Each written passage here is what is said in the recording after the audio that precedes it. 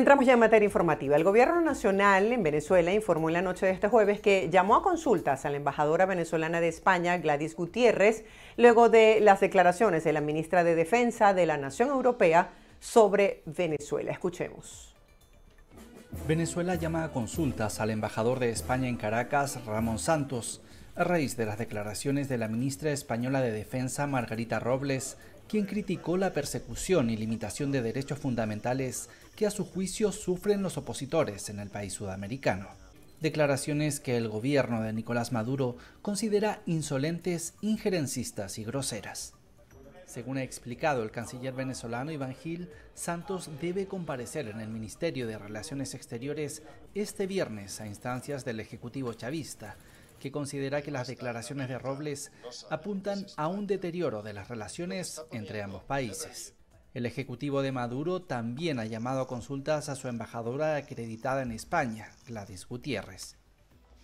Este nuevo episodio ocurre un día después de que el presidente del gobierno español, Pedro Sánchez, se reuniera con el opositor venezolano Edmundo González en Moncloa, y tras la propuesta del Parlamento de Venezuela, controlado por el chavismo, de una resolución para instar a Maduro a romper todas las relaciones diplomáticas, consulares, económicas y comerciales con España, luego de que el Congreso de los Diputados acordara reconocer a González Urrutia como presidente electo de las pasadas elecciones venezolanas.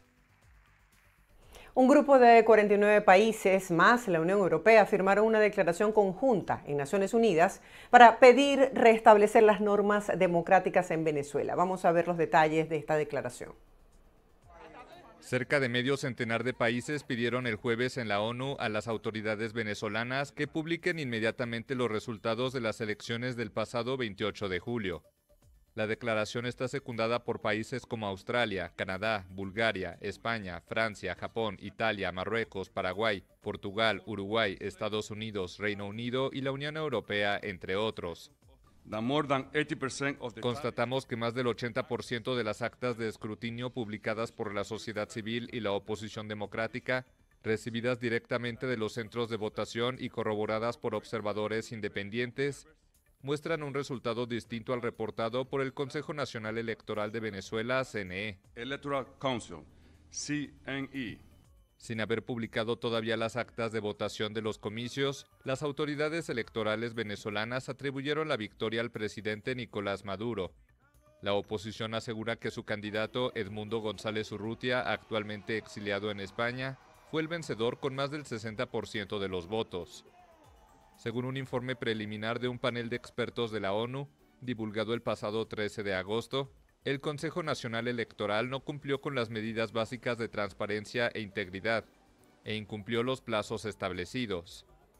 La declaración también manifiesta su gran preocupación por los abusos y violaciones de los derechos humanos, como asesinatos, detenciones arbitrarias, tácticas intimidatorias y la falta de garantías para un juicio justo para los opositores. Estados Unidos restringirá la visa a casi 2.000 personas. Ellos aseguran que han jugado un papel en el debilitamiento de la democracia y de las vulneraciones a los derechos humanos en Venezuela. Vamos a profundizar en lo que establece estas sanciones.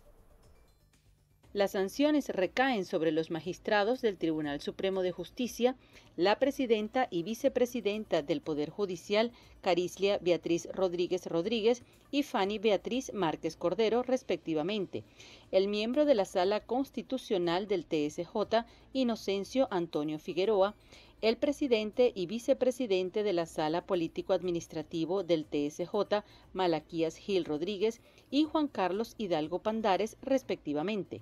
Del Ministerio Público fueron incluidos en la lista Edward Miguel Briceño Cisneros, juez especial del Tribunal Primero de Primera Instancia, Luis Ernesto Duenes Reyes, fiscal del Ministerio Público, Dinora Jocelyn Bustamante Puerta, fiscal que presta servicios en el Juzgado Primero de Letras especializado de Venezuela. También la rectora del Consejo Nacional Electoral, Rosalba Gil Pacheco, y el secretario general del CNE, Antonio José Meneses Rodríguez.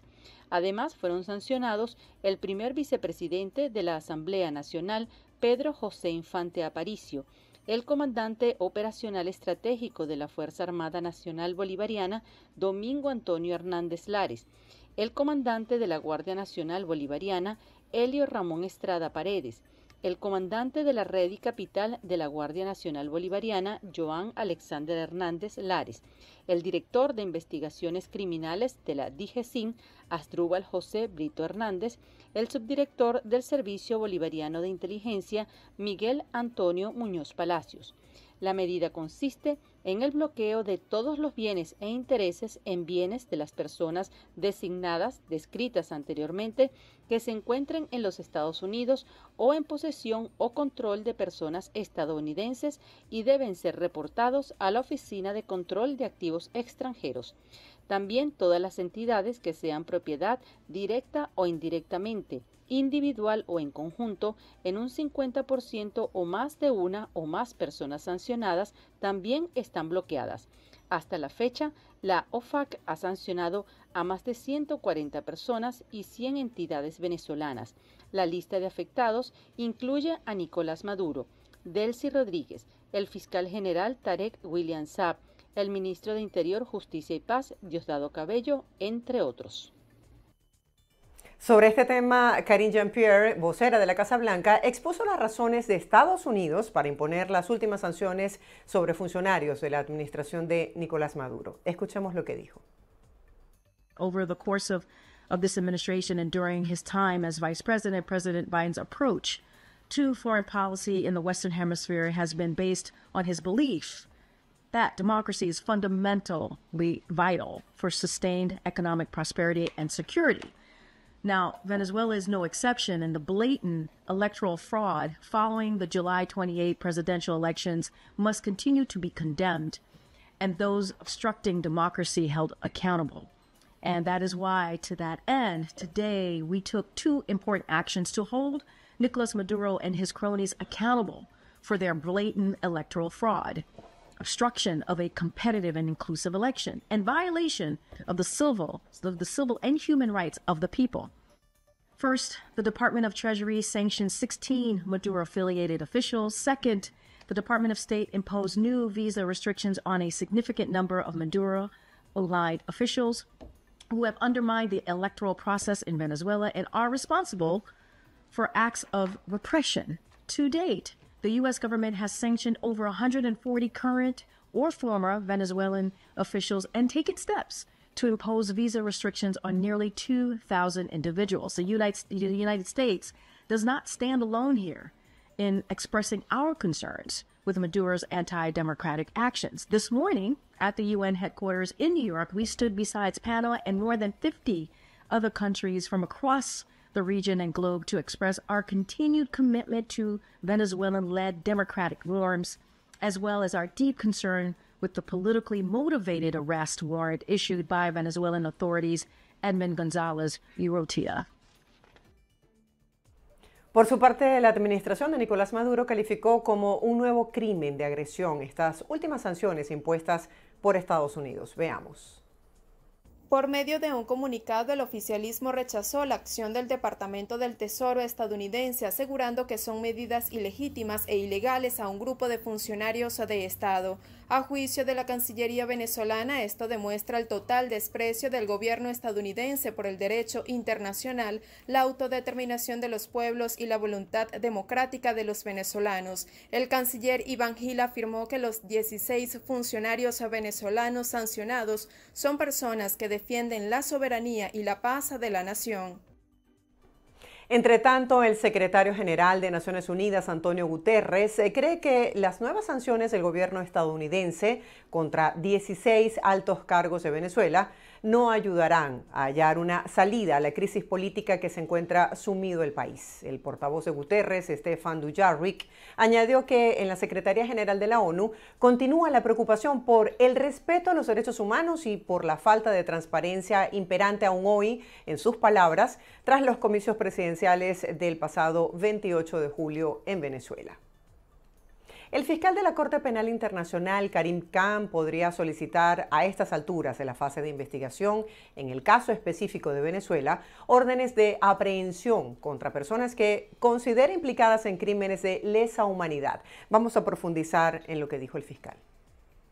La petición la haría el fiscal de la Corte Penal Internacional, Karim Khan, ante la sala de cuestiones preliminares número uno que lleva el caso de Venezuela por la supuesta comisión de crímenes de lesa humanidad, al menos desde 2017 en adelante.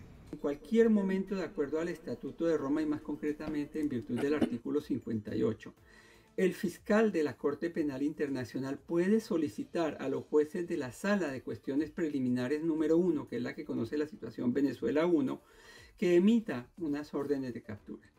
Para esto deberá el fiscal mostrar ante los jueces que existen motivos razonables para creer que se ha cometido un crimen de competencia o varios crímenes de competencia de la Corte de acuerdo al Estatuto de Roma. Y esos crímenes que estarían siendo investigados en Venezuela, por lo menos a partir del 2017, serían cuando menos los siguientes crímenes. Asesinato, tortura, encarcelamiento, persecución de un grupo por motivos políticos y desaparición forzada. Pero además debe mostrar el fiscal ante los jueces y los jueces deben determinar que esa detención tiene como fines asegurar que, que la persona comparezca personalmente al, a juicio. Eh, esto significa que pueda ser presentado ante los jueces en La Haya. Por otro lado, Ávila afirmó que en este punto del proceso no se puede recusar al fiscal por su supuesto parentesco con una abogada que pertenece a la defensa del Estado venezolano. En esta etapa del procedimiento no habría lugar a una recusación administrada es correcta, digamos. Hay que partir del hecho de que debe ser una información que debe ser eh, confirmada dentro de un procedimiento. Pero hay que decir, sin embargo, que de ser cierta esta información, eh, esta señora sería parte del equipo que defendió las posiciones del Estado durante la apelación ante la sala de apelaciones de la, de la Corte Penal Internacional y que esta sala de apelaciones y, gracias a la defensa que hizo la fiscalía llevó a desconocer o a no aceptar los, todos los argumentos del Estado venezolano, que eran seis argumentos para eh, apelar la decisión ante la sala de apelaciones de la Corte Penal Internacional. Curiosamente, esta información eh, encuadra dentro de una lógica del Estado venezolano de desprestigiar la Corte Penal Internacional y de desprestigiar la Fiscalía y que se hace extensible a otras instancias internacionales como le ocurrió por ejemplo a la señora Bachelet. Recordemos que los crímenes que están estipulados en el Estatuto de Roma y que son los que investiga la Fiscalía de la Corte son genocidio, crímenes de guerra, crímenes de lesa humanidad y crimen de agresión. Y en más información sobre Venezuela, el ex candidato presidencial Enrique Márquez manifestó su preocupación con respecto a la propuesta realizada por el presidente de la Asamblea Nacional, Jorge Rodríguez, de romper relaciones diplomáticas y comerciales con España. Escuchamos lo que dijo. Enrique Márquez hizo un llamado a la cordura a la administración de Nicolás Maduro con respecto a la propuesta de romper las relaciones diplomáticas y comerciales con el Reino de España. A mí me preocupó mucho el tono del presidente de la Asamblea Nacional el día de ayer, un tono muy, muy aireado, muy, muy violento, en relación a un tema tan sensible, porque España es un socio importante de nuestro país, importante desde el punto de vista comercial, desde el punto de vista político, desde el punto de vista económico, y cesar, la, cortar las relaciones puede ser muy perjudicial para la economía del país. Yo llamo a la toma de decisiones con responsabilidad. Asimismo, Márquez afirmó que aunque entiende la soberanía del Estado venezolano en este tipo de decisiones, se debe tener en cuenta las implicaciones negativas que traerían para los venezolanos. Imagínese usted lo que significa decirle a la empresa petrolera Repsol que se vaya de Venezuela. Repsol está produciendo gas y petróleo. Es un impacto para la economía petrolera. También como decirle a la empresa telefónica, que es la principal accionista de Movistar, que se vaya del país, porque habría un cese de relaciones comerciales. E imagínate cómo decirle a los tantos venezolanos que viajan todos los días entre Madrid y Caracas que se va a suspender el vuelo o los vuelos entre Madrid y Caracas, que a propósito, creo que es el único vuelo a Europa que tenemos nosotros directo, ¿no? a Madrid. Hay otras líneas, pero es Madrid como el hub, como el punto de encuentro. Entonces, caramba, eh, los problemas que se le generan a los venezolanos y a la economía de los venezolanos es muy grave. Por otra parte, el ex candidato presidencial informó que en los próximos días presentará un recurso ante la Sala Constitucional del Tribunal Supremo de Justicia para declarar la inconstitucionalidad y nulidad de la sentencia número 31 por parte de la Sala Electoral, al considerar que se actuó en el marco de un fraude procesal constitucional. Por cierto que la Asociación de Líneas Aéreas en Venezuela señaló que la suspensión de los vuelos comerciales de Venezuela con Panamá, República Dominicana y Perú, vigentes eh, desde el 31 de julio, es una medida política con la que el país petrolero redujo su conectividad internacional. Veamos en cuánto. Perdimos más de la mitad de la conectividad internacional que teníamos. Al 31 de julio teníamos 181 vuelos internacionales por semana. Ahí estoy hablando de Américas, Europa, Caribe, todo el mundo, ¿no? Y se cancelaron 98 vuelos, porque República Dominicana y Panamá tenían, si sumas los, las frecuencias de República Dominicana, Panamá y Perú, son 98 vuelos que se perdieron, que son alrededor de 15.000 asientos semanales.